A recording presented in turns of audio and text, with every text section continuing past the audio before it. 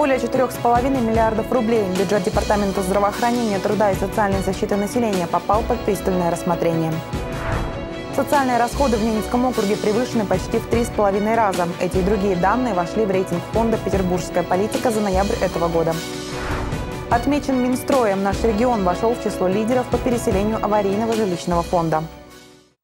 С главными новостями дня в студии Ирина Цепетова. К выполнению поставленных президентом в послании Федеральному собранию задач приступить необходимо немедленно, не дожидаясь письменного поручения главы государства. Об этом заявил премьер-министр Дмитрий Медведев. В послании прозвучали стратегические цели развития государства на ближайший год, цели и способы работы различных отраслей государственной власти, включая исполнительную. Россия переживает непростые времена, поэтому правительство ставит цель продолжить стабильное развитие экономики, социальной сферы, государственных институтов. О некоторых решениях было объявлено сразу после оглашения послания президента. Премьер-министр Дмитрий Медведев собрал заседание правительства.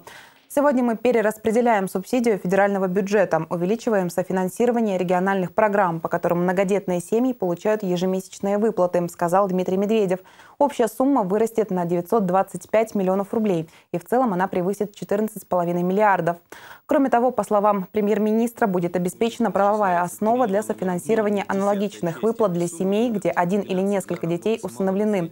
Также он сообщил, что подписал постановление правительства о государственной программе, направленной на создание в России доступной среды для людей с ограниченными возможностями. Благодаря этой работе, которая уже проведена, удалось ослабить многие проблемы, с которыми сталкивались инвалиды. Более 327 миллионов рублей получит бюджет НАО из Фонда обязательного медицинского страхования в следующем году. Федеральные дотации будут направлены на финансовое обеспечение учреждений здравоохранения, которые в 2016 перейдут в систему ОМС. Об этом сообщила руководитель Департамента здравоохранения, труда и социальной защиты населения Нинель Семяшкина. Какие еще расходы ждут ведомства в следующем году, детально обсудили на комиссии по экономической политике и бюджету.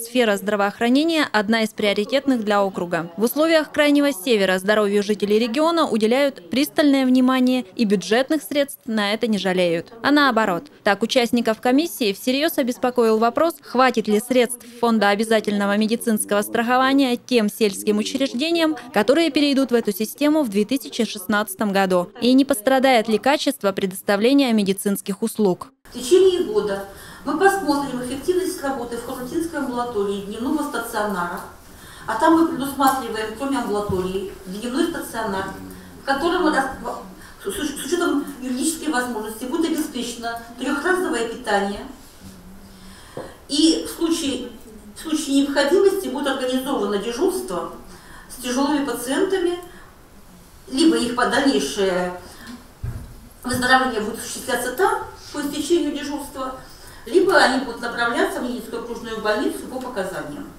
Если система покажет свою жизнеспособность, то и все остальные сельские учреждения здравоохранения перейдут на обеспечение фонда обязательного медицинского страхования, отметила Нинель Семяшкина. На финансирование медицинских учреждений, которые останутся на окружном обеспечении в 2016 году, запланировано более 840 миллионов рублей. По сравнению с годом прошлым, участники комиссии отметили рост расходов. Ведомство объясняет это удорожанием лекарств и, как следствие, лечения, а также удорожанием тарифов ЖКХ. В эту же статью ведомство включило расходы на организацию питания в медучреждениях. Со следующего года она тоже претерпит некоторые изменения.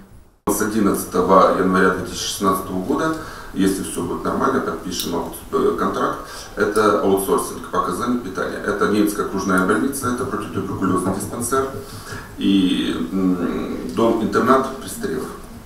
Электронный аукцион на оказание услуг по аутсорсингу уже провели. Единственным, кто подал свою заявку, оказалась московская компания Medfood. Заключат ли с ней контракт, доподлинно пока неизвестно. Как и в случае с системой ОМС, депутаты засомневались в правильности такого решения и рекомендовали департаменту проработать этот вопрос совместно со счетной палатой. Более 30 миллионов рублей департамент предусмотрел на проведение текущего и капитального ремонта медицинских учреждений и почти столько же на приобретение основных средств. Здесь депутаты оказались единодушны по вопросу закупки дополнительного оборудования для профилактики сердечно-сосудистых заболеваний. Сократить период ожидания на э, приборы, которые требуются диагностика Холтер. Никаких сомнений у депутатов не вызвала строка бюджета о субсидиях на компенсацию за наем жилья врачам и среднему медперсоналу. Сумма вопроса – более 26 миллионов рублей. На финансовое обеспечение содержания колл-центра в 2016 году направят более 2,5 миллионов. Кроме прямой функции учреждения – принимать заявки населения на запись к врачам, организация несет и функцию социальную. В колл-центре работают люди с ограниченными возможностями здоровья. Здесь депутаты выразили к ведомству особую просьбу – посодействовать в утеплении их рабочего помещения.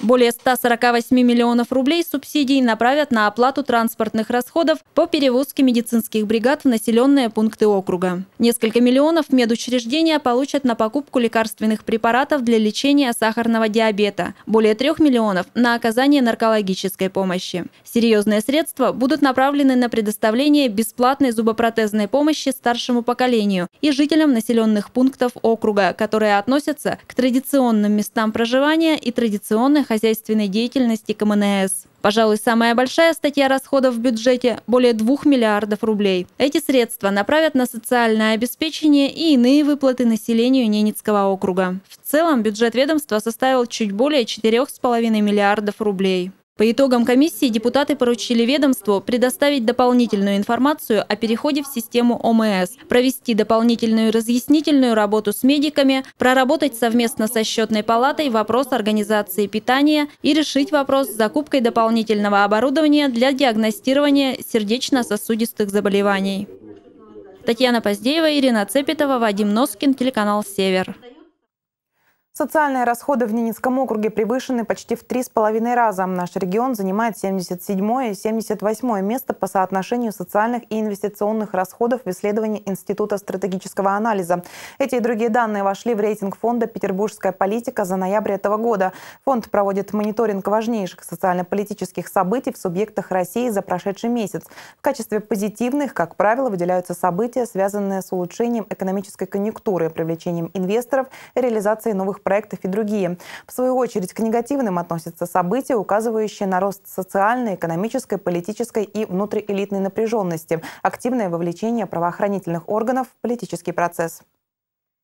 По итогам мониторинга Ненецкий округ находится в рейтинге среди регионов с высоким уровнем устойчивости. Вместе с нами еще 16 субъектов, такие как Ханты-Мансийский автономный округ, Томская область, Мордовия и другие. Чуть впереди нас в рейтинге с максимальной устойчивостью Ямальцы и Ленинградская область. А вот Санкт-Петербург оказался в рейтинге ниже нас. Среди позитивных событий, произошедших в нашем регионе в ноябре, отмечены встреча губернатора Игоря Кошина с топ-менеджерами компании «Башнефть» и «Лукойл», на которой обсуждались планы развития совместного предприятия «Башнефть Полюс». Презентация губернатором Игорем Кошиным в рамках Дней Арктики в Москве проекта строительства порта Индиго. Открытие в СПК «Путь Ильича» в поселке Харьягинский быстро возводимого убойного комплекса. Его собрали всего за пять недель. За смену, которая длится 10 часов, здесь возможно обработать порядка 400 голов. Для СПК «Путь Ильича» это первый собственный убойный пункт. Раньше рогатых животных кооператива забивали в Харивере.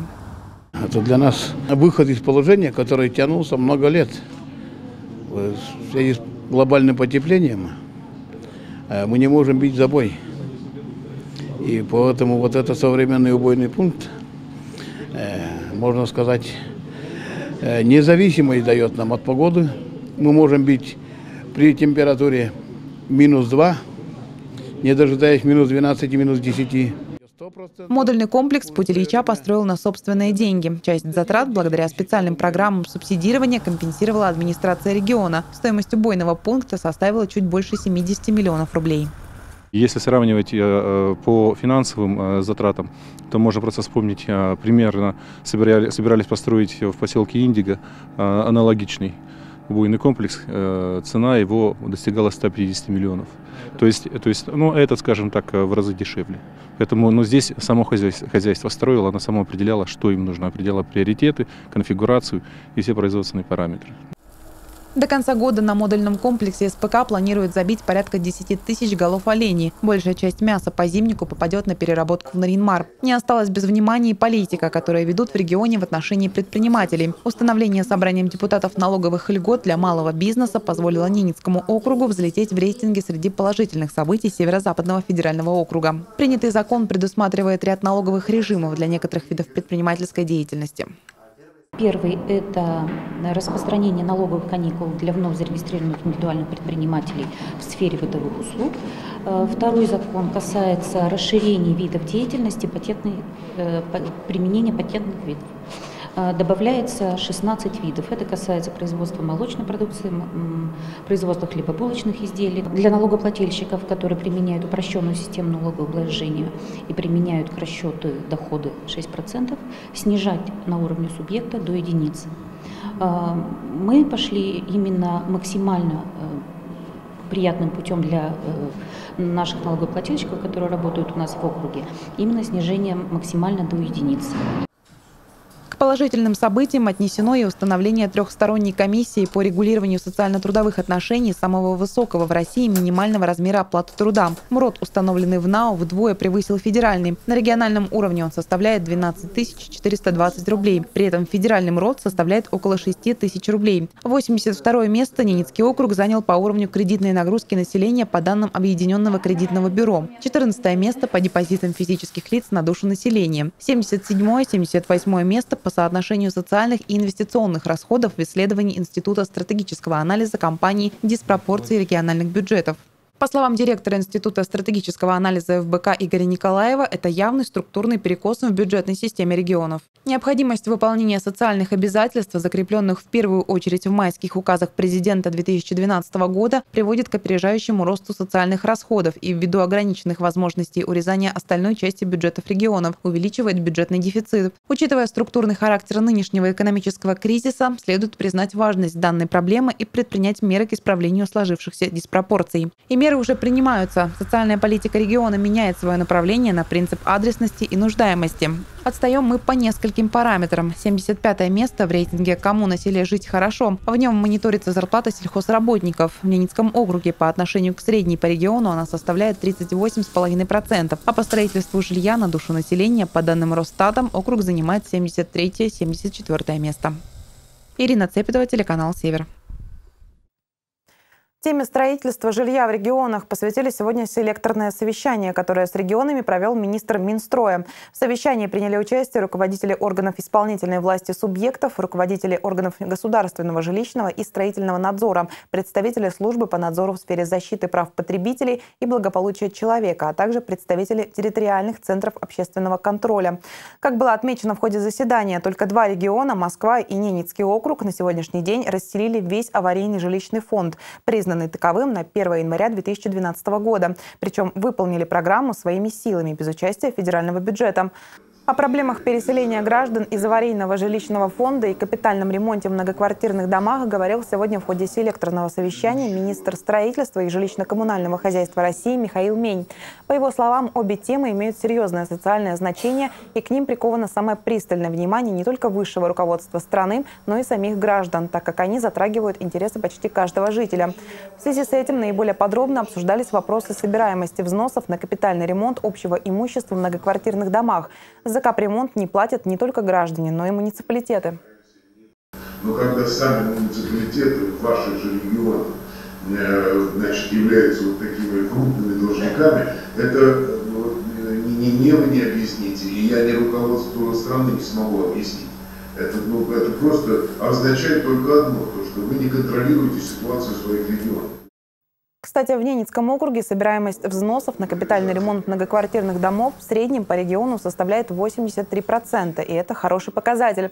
Также на совещании министр говорил и о профессиональной квалификации руководителей региональных операторов, активизации информационно-разъяснительной работы среди населения о ходе и результатах реализации данных государственных проектов, ответственности местных чиновников и подрядных организаций за качество жилья, в которое переселяют граждан из аварийного жилого фонда. Во время видеоселектора были заслушаны регионы, где, на взгляд министерства, имеются наибольшие проблемы. Ненецкий округ на связь не вызывали. В Нарьинмаре продолжает работу масштабный молодежный форум «Наследники Победы». В столицу региона съехалась молодежь со всего округа. Около 200 представителей молодежи Ненецкого округа съехались в столицу региона. Они принимают участие во втором региональном патриотическом форуме «Наследники Победы». Программа форума рассчитана на 6 площадок и 3 дня. Чему учат молодежь, расскажет Валентина Чибичек.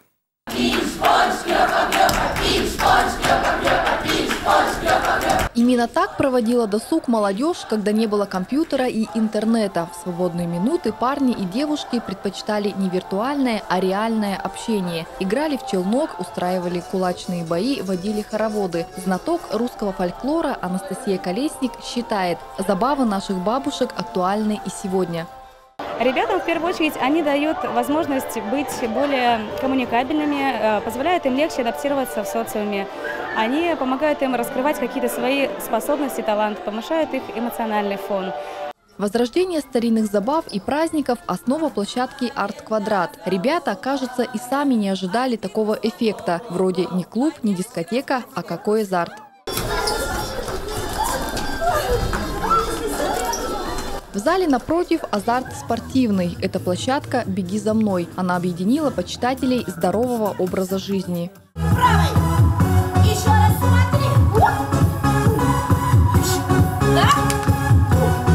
Красотой своего тела они хотят спасти не только мир. Девушки из населенных пунктов с помощью спорта и физкультуры скрашивают досуг. В прошлом году после молодежного форума участница из НИСИ привезла аэробику в родное село, а в Коткино впервые прошел фестиваль ЗОЖ. Эти небольшие достижения участников – задача каждого форума.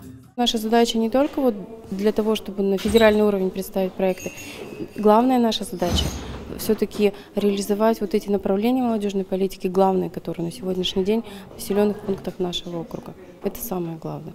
Чтобы там молодежь не затихала, не заглухала, а все-таки тоже жила, действовала и развивалась.